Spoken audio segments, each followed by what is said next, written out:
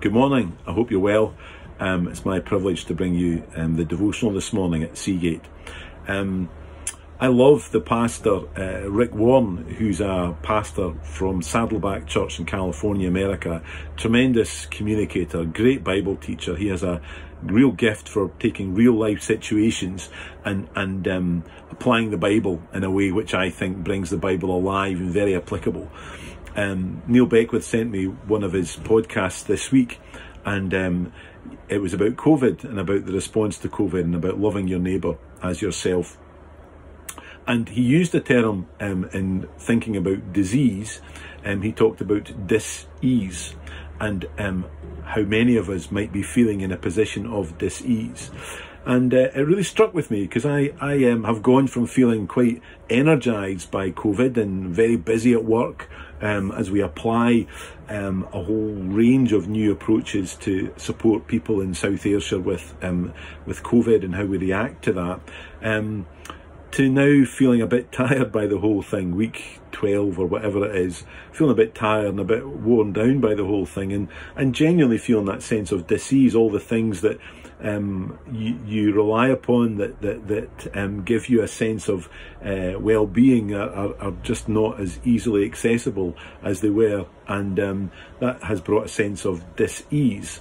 And um, I've also been led to look at um, the resurrected Jesus, and um, before he ascended into heaven, who, who he appeared to and what he said and um, what that maybe communicates to us. Uh, Jesus did actually appear um, to over 500 people over 40 days from his death, resurrection, um, and before he ascended into heaven. And if you're not a Christian, then this is a key pillar of the Christian faith that, that we believe in the actual physical bodily resurrection of um, Jesus, that he was able to walk, talk, eat, drink, um, and be touched that he was alive, that he uh, really came back alive again. And it was really important that we understand that um, he who made the, the laws of nature, he absolutely defied them, and, and only he could do that as the Lord and creator and sustainer of all that we know uh, to be our world today. And um, if I was the Son of God, Clearly I'm not.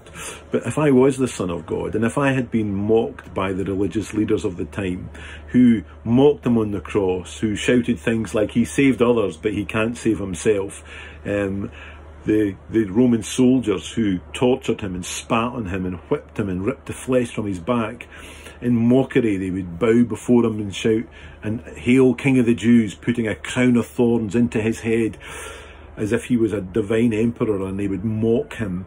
If I was Jesus and I had then risen from the grave and I had become everything that I said I was and I had evidenced it, I would want to come and ride with the host of heaven through the clouds and and leave it in no doubt to those who had made um, a mockery of me. But Jesus doesn't do that. He's humble. He presents himself humbly to a number of different people, to a number of different women, Mary and Mary and Joanna, to the disciples in the locked room who are desperately praying in fear, to the disciples at the Sea of Galilee who have returned to their old ways and fishing, not in sin and debauchery, but they're just lost and they don't know what else to do but to go back to their old ways. But Jesus meets them. Jesus appears to Mary um, Magdalena, who was a prostitute and who Jesus had transformed by his loving grace and forgiveness.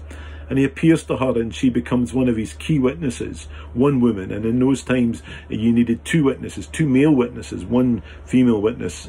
Her testimony was not seen as reliable, but yet Jesus chose to reveal himself to Mary um, that she would be his witness because he loved her and he wanted that authentic um, love that she had for him to be revealed through all history uh, as it has been. I'm particularly struck with this story, and we've we've done a little bit of this um, on a Sunday morning um, with Thomas McCulloch and Richard have both spoken about it, and it's the story of the rest the restoration of Peter, and I absolutely love the story, and uh, I'm just quickly going to read it. If I can find it, here we go.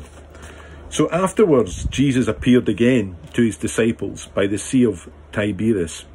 Um, it happened this way Simon Peter, Thomas, called Didymus, Nathanael from Cana in Galilee, the sons of Zebedee, the two other disciples were together.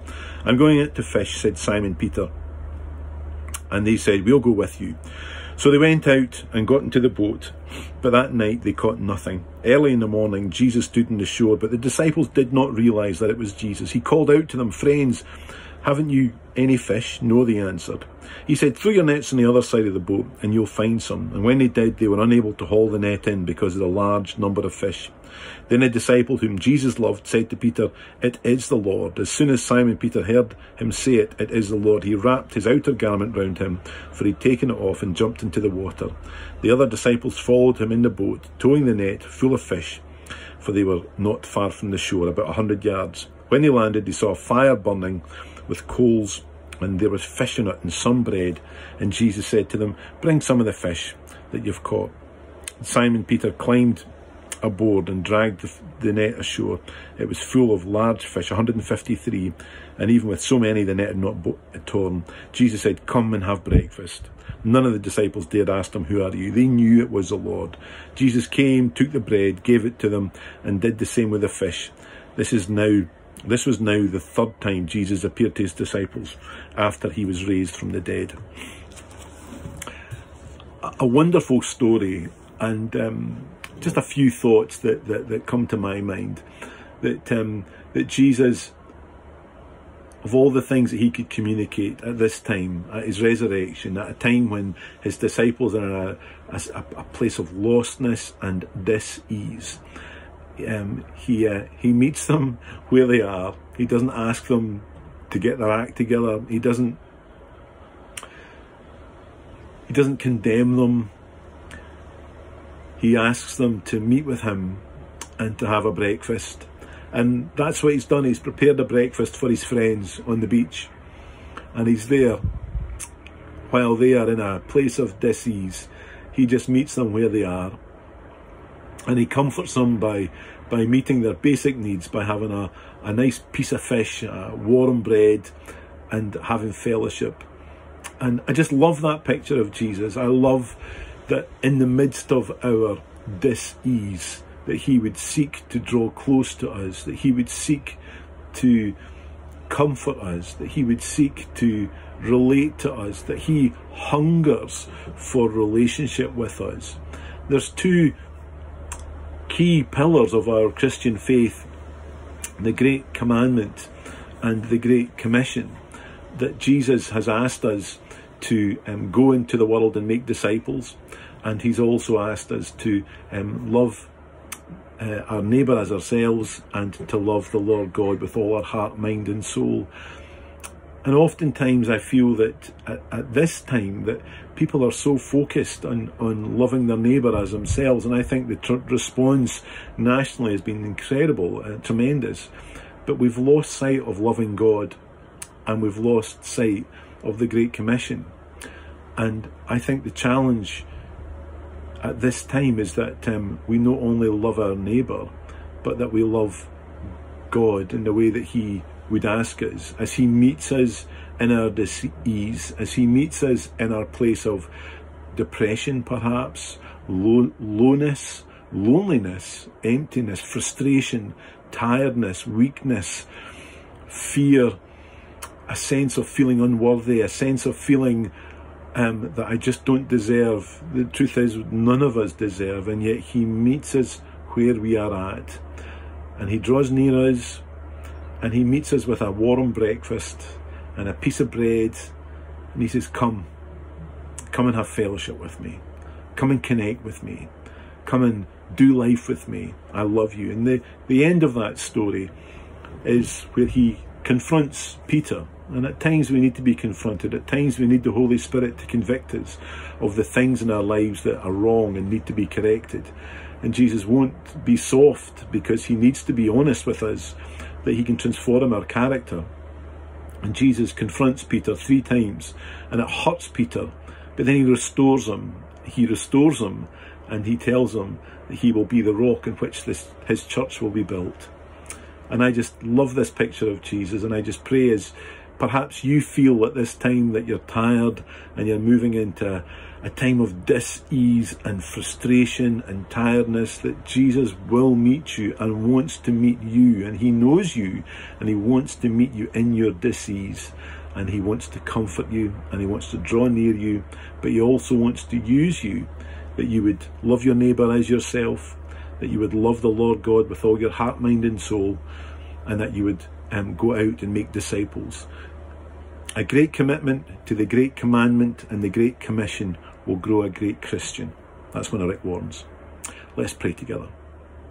Our Father, we just thank you for the picture that you paint, that despite the fact that you are the creator of the whole universe, that you are the God of all creation, that you would choose to draw alongside your friends and make them breakfast at the side of the beach that you would choose to meet a, a woman whose life had been um, traumatized by, by what men had done to her, that you would choose to restore her, that you would choose to love her, that you would choose to reveal your glory to her. And Lord, as we reach a time of feeling perhaps tired and weary of this new way of being, Lord, I thank you that you meet us where we are. I thank you that you draw near us. And I pray for all those who are listening and watching that, Lord, those that perhaps don't know you, that they would just turn and cry out to you and find you to be faithful and true, that you would meet with them. For those of us who do know you, Lord, Forgive us for the times that we get it wrong. Help us, Lord, to commit to loving our neighbour as ourselves, to loving you, our Lord and our God, and to um, being committed to the Great Commission, to reaching others in your name. We just thank you in Jesus' name. Amen. Thanks for listening. God bless you all. Bye bye.